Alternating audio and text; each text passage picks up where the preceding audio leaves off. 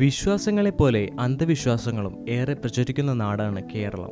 അലങ്കാരത്തിനായി നിർമ്മിച്ച ഒരു സാധാരണ ശില്പത്തിന് മുൻപിൽ മെഴുകുതിരിയും ചന്ദനത്തിരിയും കത്തിച്ച് പ്രാർത്ഥിക്കുകയാണ് ചിലർ. തിരുവനന്തപുരം ശ്രീ അവിട്ടം തിരുനാൾ മെഡിക്കൽ കോളേജ് ആശുപത്രിയിലാണ് ഇത്തരം നാടകീയ സംഭവങ്ങൾ നടന്നത്. ആയിരത്തി തൊള്ളായിരത്തി അമ്പത് ജനുവരി ഇരുപത്തി ആറിന് അന്നത്തെ തിരുവിതാംകൂർ രാജകുടുംബം ശ്രീ അവിട്ടം തിരുനാൾ ബാലരാമവർമ്മയുടെ ഓർമ്മയ്ക്കായി പണി കഴിപ്പിച്ചതാണ് ഈ ആശുപത്രി. കേരളത്തിലെ തന്നെ ആദ്യത്തെ മെഡിക്കൽ കോളേജാണിത്. ആദ്യത്തെ പ്രധാനമന്ത്രിയായിരുന്ന ജവഹർലാൽ നെഹ്റുവാണ് ഈ ആശുപത്രിയുടെ ഉദ്ഘാടനം നിർവഹിച്ചത്. ഇന്ത്യയിലെ തന്നെ പ്രധാനപ്പെട്ട മാതൃശിശു ആശുപത്രികളിൽ ഒന്നാണിത്.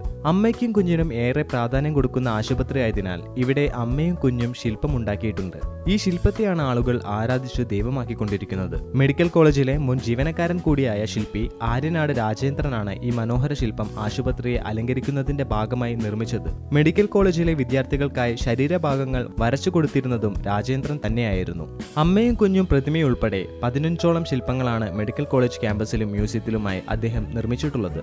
ഇരുപത്തിരണ്ട് അടി ഉയരവും അഞ്ചടി വീതിയുമുള്ളതാണ് ഈ കൂറ്റൻ പ്രതിമ. ആയിരത്തി തൊള്ളായിരത്തി തൊണ്ണൂറ് നവംബർ പതിനാല് ശിശുദിനത്തിലാണ് ഈ പ്രതിമ അനാച്ഛാദനം ചെയ്തത്. ഇരുപത്തി അയ്യായിരം രൂപയായിരുന്നു പ്രതിമയുടെ നിർമ്മാണ ചെലവ്. തന്റെ കുഞ്ഞിനെ മുലയൂട്ടുന്ന ഒരു അമ്മയുടെ ശില്പമാണിത്. അമ്മയ്ക്ക് കുഞ്ഞിനോടുള്ള സ്നേഹ വാത്സല്യമാണ് ശില്പി ഈ പ്രതിമയിലൂടെ ആവിഷ്കരിച്ചിരിക്കുന്നത്. അന്നത്തെ സാധാരണ ഒരു മലയാളി വീട്ടമ്മയുടേതുപോലെയുള്ള ഒരു മുണ്ടും ബ്ലൗസും ധരിച്ചിരിക്കുന്ന സ്ത്രീയും അവരുടെ കുഞ്ഞുമാണ് ശില്പത്തിലുള്ളത്. ഇടക്കാലത്താണ് ഈ ശില്പത്തെ ആരാധിച്ചാൽ സിസേറിയൻ ഇല്ലാതെ സുഖപ്രസവത്തിൽ കുഞ്ഞിനെ ലഭിക്കുമെന്ന വാർത്ത പരന്നത്. കൂടാതെ മെഴുകുതിരി വിളക്ക് ചന്ദനത്തിരി തുടങ്ങിയവ നേർച്ചയായി അർപ്പിച്ച് പ്രാർത്ഥിക്കുന്നവർക്ക് അവർ വിചാരിച്ച കാര്യങ്ങൾ അത്രയും നടന്ന് എന്ന വാർത്തയും സാമൂഹ്യ മാധ്യമങ്ങളിൽ നിറഞ്ഞു. ഇതോടെ പല സ്ഥലത്തു നിന്നും ആളുകളെത്തി തിക്കും തിരക്കുമായതോടെ ആശുപത്രി അധികൃതർക്ക് ഇത് വെറുമൊരു കോൺക്രീറ്റ് ശില്പമാണ് എന്ന ബോർഡ് കൂടെ തൂക്കേണ്ട അവസ്ഥയായി.